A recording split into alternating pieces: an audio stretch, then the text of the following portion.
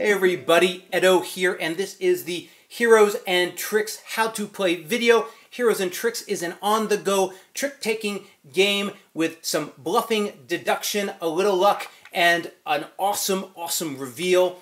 This is for two to six players, and the standard play, which is the one that I'm going to show you, lasts about 20 minutes. Uh, I'll be showing you a three to six player game. The two player uh, version has a couple nuances for just two players. But I'm going to flip the camera around so you can see the table in front of me and we'll get started.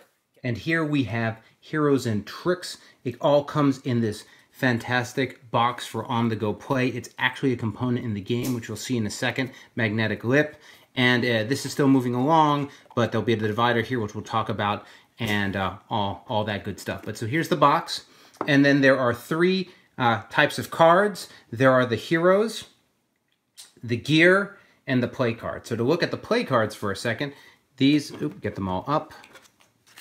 These represent all uh, the four different suits in four different colors. So we have, uh, and one through eight. So we have red cards, doot, doot, doot, green cards, uh, green dice, yellow dice, and you'll see that this is sort of traveling through the colors. Yellow meeple, blue meeple, upside down, blue chip or token, and then uh, red chip or token. And so the way that these suits and colors overlap is important, and what you'll find that is that in the lip of the Heroes and Tricks box is a nifty guide that shows all that I just described. It also talks about how trumpet works, which is the best you can have is color, beyond color, suit, and the highest number, then color and highest, suit and highest, and then highest number. So I'll talk about that in a second, but this is with you at all times, okay? Then jumping to the other side, we have the heroes, and the heroes are what lead all of the different tricks. And so these are, are coming along as well, um, but these represent all of those different categories, and there's two of each. So there's two yellow meeples, uh, for example, and some of them obviously aren't quite done yet. And then lastly, we have the gear cards, and the gear cards are used to impact the tricks. And there's a variety of these that are coming along. Some are play before trick, while others are play in trick. That's the big uh, distinction between the two, and they all have different abilities. And as you can see, the most work needs to be done on these cards, but they will look fantastic. Anyway, so um, Heroes and Tricks is you're trying to be the player who scores the most heroes, and you do that by winning the trick. And, and, and, at the start of a trick, a hero is going to be placed by a player in the front of the box, and that's how the trick's going to go.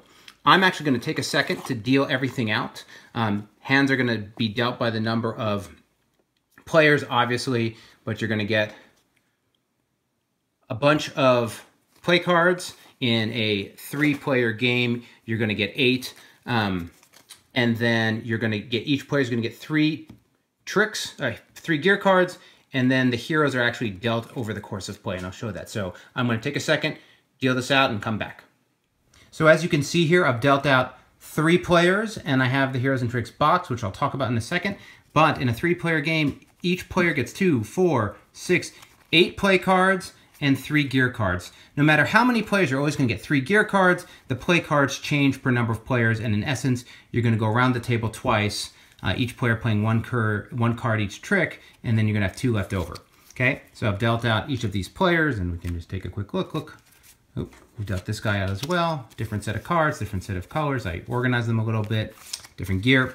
And then we've set up the Heroes and Tricks box. Now, the Heroes and Tricks box you know, obviously we're playing on a table right now, but the point is that you wouldn't have to play on a table. You could play um, at a restaurant or in a line or on a walk. And to do that, all of the cards are kept within the box and all the cards that aren't being used as well as we're going to play into the box. And so in the box, there's this divider that's white right now. It's not going to always be white, but for the moment it's white. It'll be colored like the other stuff. And in between, in the middle section is going to be all the cards you're not using and cards that are used and discarded. In the top, we've placed all of the heroes and the bottom's empty and that's where we're gonna play. So as I was talking about earlier in Heroes and Tricks, you, uh, the first player is gonna pull up the back hero. So no one else can see it because they're gonna see the back. They see I grabbed a hero, of course, but they haven't seen it. It's the back here, and I'm gonna slide it in front here. This is hidden information. I am the only player who knows who's in the box, okay? And my objective, it's a trick-taking game, is so I want to play the best card to win this trick. And I do that by looking at this card, uh, the hero, and the hero is a red card. So, you know, again, a reminder of the different uh, combinations. And then winning a trick, the best is color, suit, and highest number. So the best card to play on this would be, you guessed it, a red card 8. Uh, if I didn't have any red, a green card 8. Um, I, so I didn't have any red, so I jumped right to suit. If I didn't have either color or suit, it would just be the highest number, right? So I put that down. I'm going to close this up for a second. I'm going to pick up my cards here. Doing this on camera is a little bit awkward, but that's okay. And I clearly don't have any red, right? I need to have the red card, but I don't. But I do have a green six uh, card, so I'm going to say, all right, well, let me put that in, okay? So I do that, close up the box. This is somebody else's hand. And then I pass this to the next player. Now, when they open this, all they see is six, green six, right? They don't see that it was red. So they don't have that information. So the next player is going to look at his cards, and I can do this with a box in my hand uh, through the camera. And let's see, well, I've got a green four and uh, red three, and looking around, and I'm looking at this, and I'm like, hmm, I don't know what his last card played was, or I don't know what the hero is, but he played a green six, and let me look at my stuff. I've got this green four. I could play the red, but I don't know what the hero is, but I look at my gear, for example, and I see the broadsword, and it says play and trick. It says your card, you play, uh, play and trick. Your play card counts as plus two value and wins ties. Well, and this is where you get into some of that deduction and playing. I play the gear behind my card, and I said, well, if this is going to make it a six, but I win in ties, and, and second player wins in time uh, tie anyway, but it double wins. Uh, I'm going to play this, and I know that I've beaten the card in front of me. So I don't know what's going to happen next, but I do know I beat the card in front of me. And a lot of this game is thinking through that, thinking which heroes have been played, which haven't, how they work together. But so that player has taken their turn, and now the last player looks in and sees the four, green four again, and they're going to look at their hand. And looking at their hand, well, got a red two card, I've got some chips, meeples, dice, but I don't have uh, the any green cards. And I don't know that it was a red card, right? So I look at this and I have two decisions to make. I could either say, hmm, maybe I can't beat the four, but if it was a red that led somebody to play this, I could play this and I would win. Or perhaps the that uh, card, it, it was the color that was right, but they had the wrong symbol. And let's say in this case, I just happen to go with red, right? So I have an inkling that this might be valuable, but it's also a low card. So in the case, you know, when you're last position, it can be hard. So in the case it, it, it loses, I'm not losing a great card, right? It'd be a big play to play a seven when I wasn't sure, but a two is not that big of a play. So then I've played my cards and then the player does the reveal. I'm sorry about it. So in the reveal, you're going to lay out the hero, and I'll do this in the air and you're going to say, okay, hey, everybody, it was the cheat. It was a red card. So the highest in here is green card six, four, oh, with the, with the sword. So this is now the winning card. But then look, the two came in and the two has suit and color. So it beats just color. So this player would win. They would get the hero.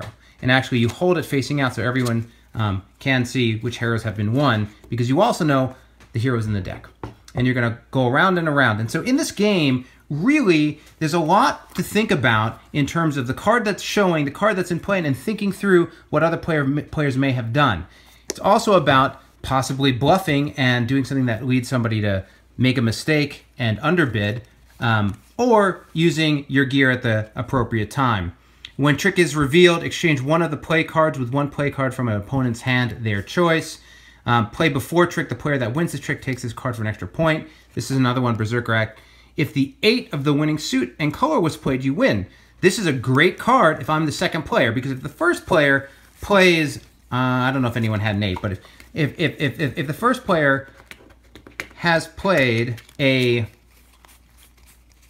uh, no one has an eight, uh, yellow eight of a meeple, there's a good chance that's the winning card because they they would only have played that if that you know not for sure but likely. So then playing that Berserker Axe is a great card to play in my turn, um, and then you'll just keep passing. Person who ends with a box starts the next, so everyone is going to get a chance with um, being the one to reveal and look at the heroes, and that is how you play heroes and tricks.